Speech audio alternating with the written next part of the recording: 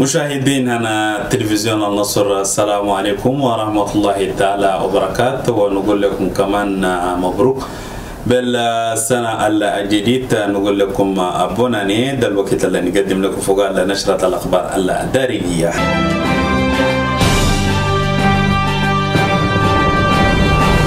الرسالة للأمة الجادية الرئيس الجمهورية رئيس الفترة الانتقالية الجنرال محمد إدريس زيبيتنو قدم تحاني للأمة الجادية بالمناسبة أنا السنة الجديدة نتابع جزء من كلامه بترجمة أمر إبراهيم.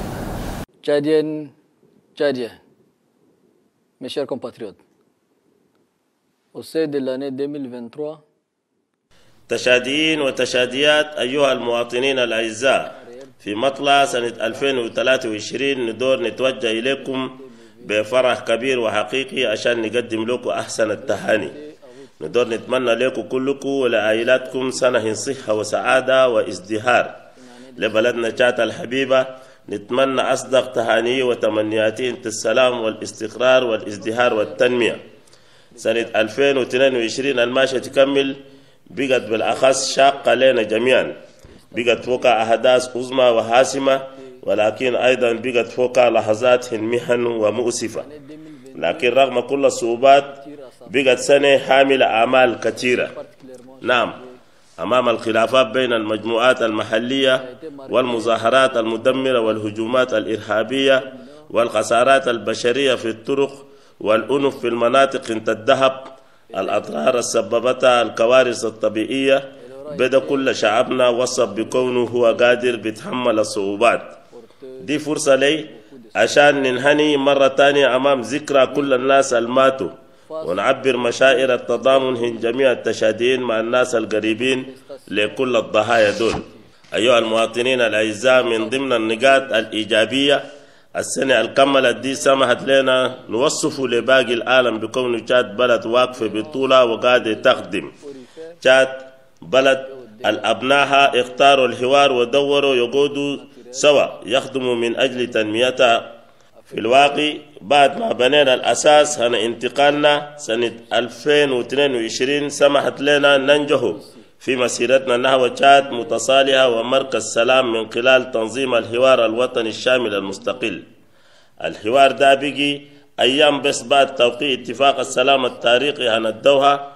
اللي هو أيضا كان رهان فاز فوق الشعب التشادي كلك. لأول مرة في التاريخ السياسي أنا بلدنا أغلبية القوى الحية إنت الأمة جلسوا سوا عشان يناقشوا كل الأوجاع القاعدة تعاني منها تشاد ويلقوا لها علاج مناسب. بعد تحليل عميق بدون ممنوع ولا تهاون ولا مجاملة الحوار الوطني الشامل والمستقل سمع للمشاركين عشان يقرروا بحرية كاملة وبسيادة إلزام البلد بمرحلة انتقالية ثانية مدتها 24 شهر. الهدف من ال 24 شهر الانتقالية هو العودة إلى النظام الدستوري ووضع تشاد على المسار الصحيح نحو التنمية المتكاملة والمستدامة. تشاد المتصالحة دي تنبني إلا بالتشادين من كل الآفاق. أسباب ده قال كونا حكومة من وحدة وطنية بقيادة رئيس وزراء من المعارضة السابقة واسترشادا بقرارات وتوصيات الحوار الوطني الشامل والسيادي سنعمل يدا بيد وبصبر ولكن بثبات نحو تشاد الجديدة حتى في النهاية بلدنا تتوجه للتنمية والازدهار الكامل هنا أبنائها وبناتها. تشاديين وتشاديات المواطنين الأعزاء توطيد السلام شال موزم وكنا وطاقتنا. لكن أننا ما خلينا القضايا الاجتماعية خاصة الأهمية من تطهير الجو الاجتماعي بالحوار المتواصل مع الشركاء الاجتماعيين والوفاء بجميع التزاماتنا معهم. أسباب ده تم توظيف هنا خمسة ألف شباب. عندهم شهادات في الوظيفة العامة سنة 2022 وتجنيد هنا 1500 شرطي. أغلبيتهم شباب حاملين شهادات العاطلين من الأمل عن طريق الاستبدال الرقمي. نستمر في تشغيل جميع محركات اقتصادنا من أجل خفض معدل البطالة من خلال خلق فرص عمل لائقة للتشاديين. سوف تساهم المناطق الاقتصادية الخاصة المختلفة التي تم إنشائها لذلك. انطلاقة أعمال المشاريع الوقفت مدة طويلة يساهم في رغبة توفير فرص عمل للشباب التشاديين. في سنة 2023 نخدم عشان نرد للتطلعات العاجلة والمشروعة إن شعبنا في مقدمة التطلعات دي الأمن الداخلي عندما كان أولية في عمل الحكومة من أجل ضمان الأمن والهدوء وحماية المواطنين ووضع حد لجميع أشكال الأنف التي تهزن العائلات التشادية. في الناحية دي أنطينا تعليمات للحكومة عشان تجمع جميع قوات الأمن البخدم في الأمن الداخلي تحت لواء وزارة الأمن العام من أجل ضمان أحسن لتنسيق عملهم تحت قيادة موحدة. يضاف إلى ذلك التعزيز التدريجي للقوات المكلفة بالأمن الداخلي من حيث التدريب والمعدات من أجل أفضل حماية للأشخاص والممتلكات في كل أنحاء الأراضي الوطنية. لأن الأمل مشترك أن جميع قوات الأمن إلى جانب الشرطة الوطنية بسمة للشرطة تقوم بمهمتها بصورة أفضل وأحسن في الاحترام الصارم والمستمر لحقوق الإنسان والقانون والعدالة. العدالة تمثل ضمان هنعيشتنا سوا وهي أيضا الانشغال المشترك على جميع التشاديين لازم تكون فوق إصلاحات آجلة عشان ترد بالكامل وبسرعة لمهمتها الأساسية. تشاديين وتشاديات المواطنين الأعزاء. حدودنا وشعبنا في المناطق الحدودية واجب لهم حماية أفضل. أسباب ده أنينا مصممين نحارب بشدة جماعة بوكو حرام القاعدين لها الساعة بيعتدوا فوقنا وبهاجمونا من قوائتهم الخارجية. دي فرصة لي عشان نعبر إيجابي وشكري. لقواتنا انت الدفاع والأمن الباسلة لشجاعتهم وشعورهم بالروح انت التطهية لأسكرنا وجنودنا الفراس الماتوا وأصيبوا من أجل الدفاع عن الوطن في داخل حدودنا أو في عمليات في الخارج الوطن يكرمهم وما ينسم أبدا. عشان نمنع الخلافات والنزاعات بين المجموعات في داخل البلاد واجب الحكومة تدعم السلطات التقليدية والإرقية في حل الخلافات بين الناس بشكل صحيح مع احترام التقاليد والعادات إذا كان ما تتعارض مع قوانين الجمهورية والتي يجب أن تطبق على الجميع. يجب أن يكون التوازن بين القانون العرفي والقانون الجمهوري بوصل لنا عشان نوقف أعمال القتل المروعة والتي كانت تدخل الحزن لشعبنا وحتى يسود التفاهم والتعايش السلمي. المواطنين الأعزاء الفيضانات انت السنة. أثرت في جزء كبير هنا بلدنا. أمطار غزيرة زادت منسوب مياه نهر شاري ولقون بنسبة ما حصلت من سنة 1961 والحالة دي دمرت الأراضي الزراعية والبيوت خاصة. والشيء ده سبب حالة طوارئ إنسانية واسعة. أحزنتنا واستجوبتنا كلنا حالة حزينة تذكرنا بكون الحكم هو الوقاية والاستباق. من الآن الحكومة لقت تعليمات عشان تسجل في أولويات عملها المراجعة الكاملة للخطة الحضرية المعمارية للمناطق المعرضة للفيضانات ولا توقع حلول مستدامة في مواجهة هذه الظواهر التي تتكرر بسبب تغيير المناخ. المواطنين الأعزاء أنا نعرف بكونه قاعدين تنتظروا بفارغ الصبر تدوروا تشوفوا تحقيق جهود الحكومة في مجال الطاقة. وقال أنا نفهمكم. السؤال المهم ده بقت فوق إجراءات كثيرة. وإطار البرنامج الطموح هنا نهضة الطاقة. أن هنا نفتكر كون السنة 2023 تبقى بداية هنت الحل النهائي للأزمات المتكررة in نقص الطاقة. الكهرباء باستمرار أصبحت اليوم حقيقية في بعض من المدن هم بلدنا. واجب أي مكان في البلد يبقى عند كهرباء خاصة في عاصمتنا الكبيرة والجميلة. أنا شخصيا نتابع الأمر ده من أجل توفير الكهرباء لكل واحد في كل مكان. بجانب جهودنا في مجال الطاقة نقوم بانطلاق مشاريع إنشاء الطرق المتوقفة وتنفيذ مشاريع آخرين من أجل توفير التنقل للمواطنين البخدم من أجل بيع منتجات هنعملهم ننطو الأولوية للطرق التربط بين مناطقنا من أجل تسهيل التجارة الداخلية وتطويرها. وبالمثل المشاريع هن ربط الطرق مع الدول المجاورة أيضا تستمر. تشاد بلد ما عندها منفذ في البحر. أسباب ده تنميتها ترتكز أساسيا لتطور الشبكة هن طرقنا البرية. التصنيع والتحديث وتطوير القطاع الزراعي. يجد كل الدعم اللازم لضمان على الأقل أمننا الغذائي بفضل إنتاجنا الوطني. بالنسبة لقطاع الثروة الحيوانية سيتم الحفاظ على الديناميكية الجديدة هم بنى وتشغيل العديد من المصالح الحديثة في بعض من المدن من أجل الاستفادة لإقتصادنا. في مجال الحوكمة الاقتصادية ومن أجل تعزيز الثقة بين المواطنين والإدارة الحكومية. جهودنا واجب يستمر. السياسات السليمة والشجاعة والقواعد الشفافة والمؤسسات القوية والفعالة ضرورية لتخفيف المخاطر. يجب تصميم الإطارات المؤسسية لكي يسمح لاقتصادنا يكون جذاب ومنافس. عشان يجذب رؤوس الأموال القاصة في المستوى المحلي والأجنبي. رؤوس الأموال دي تشجع التجارة وتسهل النمو والتحويل الاقتصادي. بلدنا يجب أن تقوم بإصلاحات مستدامة تتعلق بجودة الإدارة العامة والشفافية والمساءلة والأخلاق وإدارة الديون وتعبئة الموارد. بمثل ده النتيجة الفعالة هنت الجهود دي تساهم في تحسين الإدارة الاقتصادية والمالية بشكل كبير على المستوى الوطني وتعزيز سيادة القانون والعدالة. بالإضافة إلى ذلك تفتح آفاق التمويل لتشاد بزيادة الاستثمار في رأس المال البشري والتنويع الاقتصادي لتحسين البيئة المعيشية للمواطنين التشاديين نحن بالفعل ندعو المستثمرين للقدوم والاستثمار في مناطقنا في تشاد. في مناطقنا الاقتصادية القاسة الجديدة حيث توفر لهم شروط جذابة للاستثمارات أيضا نشدد في مكافأة الفساد الذي يدمر جهودنا التنموية.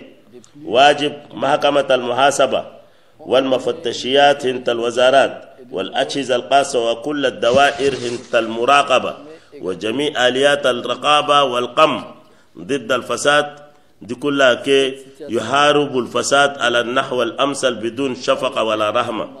أنينا كل نراقب بشدة الإدارة هنت الموارد والأموال هنت الدولة عشان كل شيء يكون بشفافية بدون تلاعب.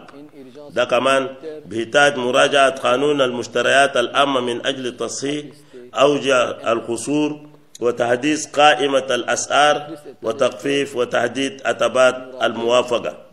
دعم الإصلاحات دي يبقى إلا باستعادة هيبة الدولة واحترام معايير الكفاءة والاستقامة في التعيينات ومحاربة عدم ال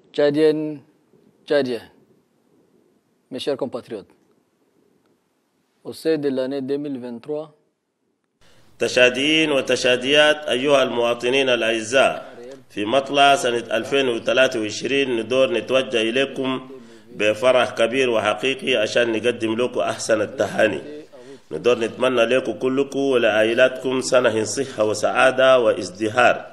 لبلدنا تشات الحبيبة نتمنى أصدق تهاني وتمنياتي انت السلام والاستقرار والازدهار والتنمية. سنة 2022 الماشية تكمل بقت بالأخص شاقة لنا جميعا. بقت فوق أحداث عظمى وحاسمة ولكن أيضا بقت فوق لحظات محن ومؤسفة. لكن رغم كل الصعوبات بقت سنة حاملة أعمال كثيرة. نعم أمام الخلافات بين المجموعات المحلية والمظاهرات المدمرة والهجومات الإرهابية والخسارات البشرية في الطرق والأنف في المناطق انت الذهب الأضرار سببتها الكوارث الطبيعية. بدا كل شعبنا وصف بكونه هو قادر بيتحمل الصعوبات. دي فرصة لي عشان ننهني مرة تانية أمام ذكرى كل الناس الماتوا. ونعبر مشاعر التضامن من جميع التشادين مع الناس القريبين لكل الضحايا دول. أيها المواطنين الأعزاء من ضمن النقاط الإيجابية السنة الكملت دي سمحت لنا نوصف لباقي العالم بكون تشاد بلد واقفة بطولة وقاعدة تخدم. تشاد بلد الأبناء اختاروا الحوار ودوروا يقودوا سوا يخدموا من أجل تنميتها في الواقع. بعد ما بنينا الأساس هنا انتقالنا سنة 2022 سمحت لنا ننجح في مسيرتنا نحو تشاد متصالحة ومركز سلام من خلال تنظيم الحوار الوطني الشامل المستقل.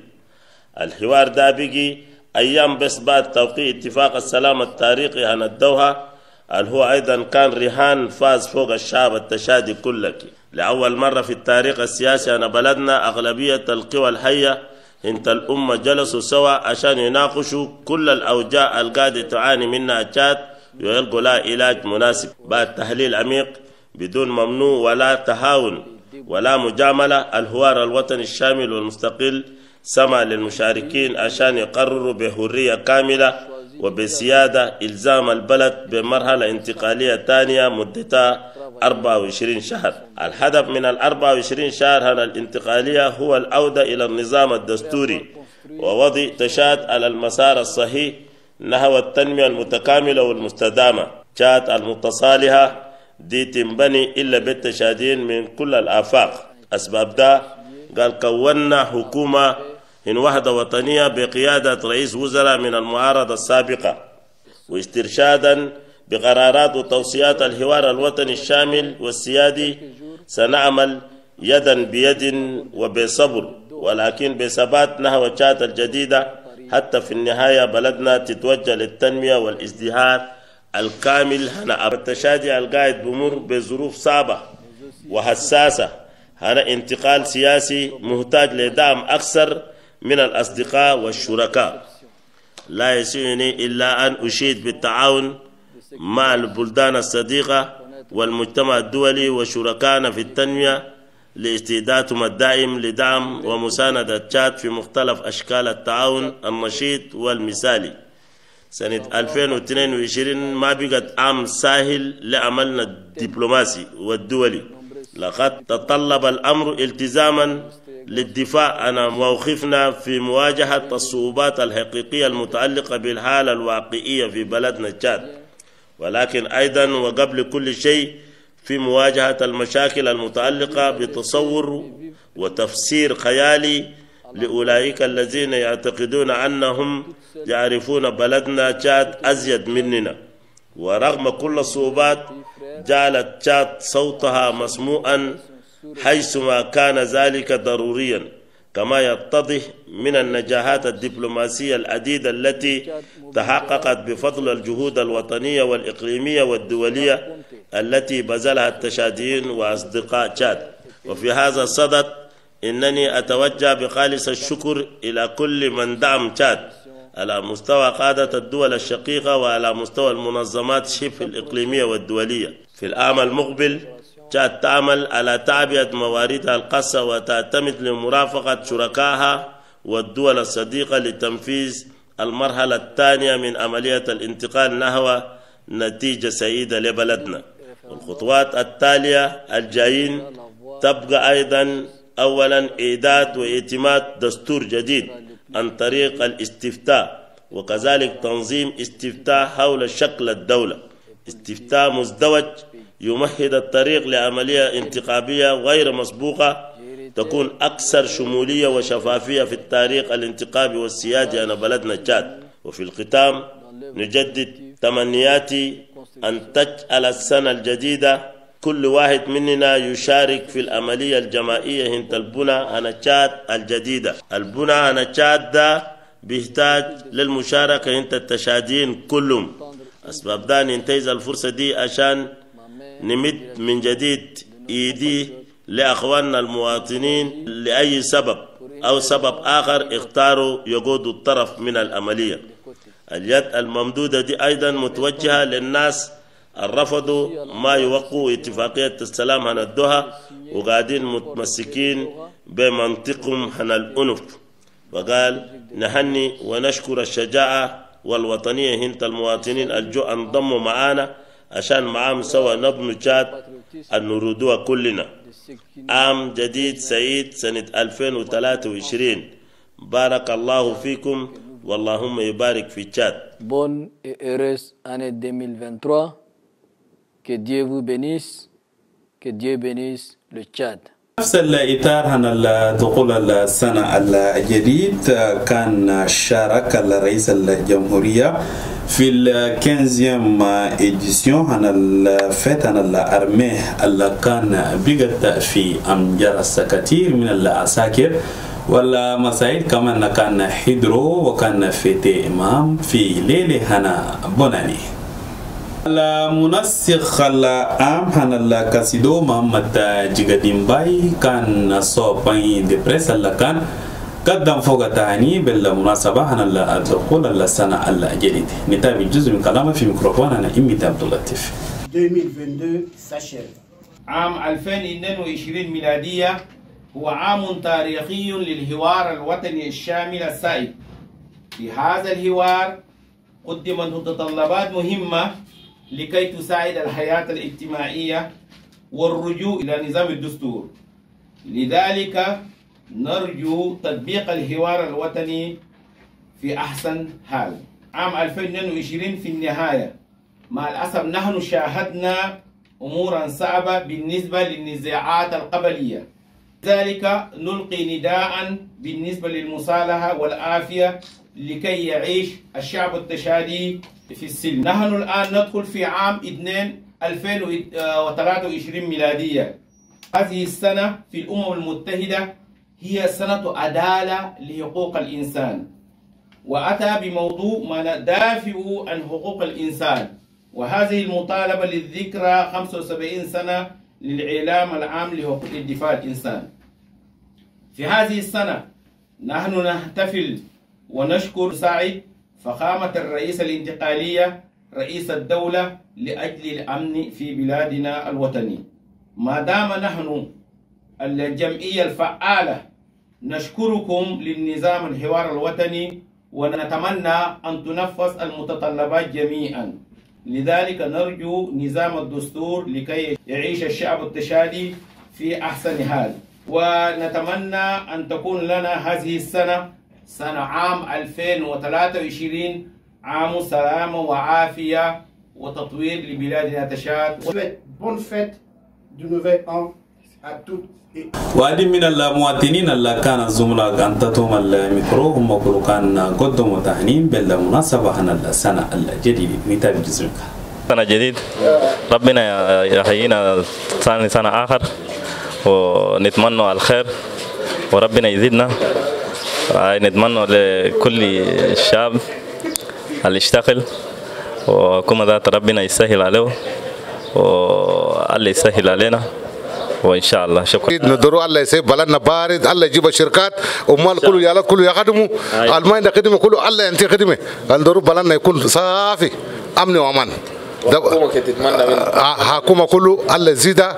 ولا نشكره كثير آه هو كله يخليه يقوم لنا يشيل لنا امني أنا بلد أنا سبيان والماء ده خدمه كله خليه يدسوا في أمل خليه يشتغلوا. كملت النشرة التاريخية نشكركم كثير بشوفكم كل التالي النصور. نخليكم كمان تابعوا متابعة سيرة.